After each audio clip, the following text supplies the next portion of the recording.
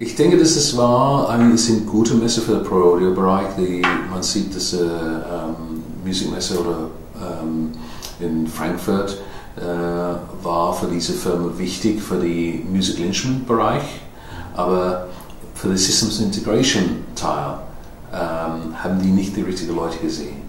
Und das, äh, als deren Business mehr und mehr in diese Richtung wächst, haben die gesehen, dass die brauchen eine Plattform, die Systems Integrator zu erreichen. Und ISE war diese Plattform. Ähm, und erstmal kamen viele Firmen zu besuchen und sehen, okay, wer kommt, wer ist da, wie ist es. Die haben es gesehen, es war erfolgreich und dann dazu auch gemeldet und sagen, die wollen auch teilnehmen, ein Teil von dieser erfolgreichen, erfolgreichen Messe sein. Als USP kann ich sagen, dass wir sind der erfolgreichste im Bereich äh, Systems Integrator. Die bedeutende und wichtige Systems Integrator in ganz Europa kommen auf die ISE.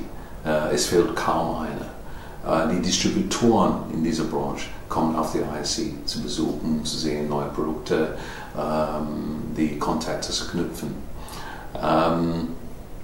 Es gibt Messen, das erreichen das teilweise, aber nicht so wie the ISE.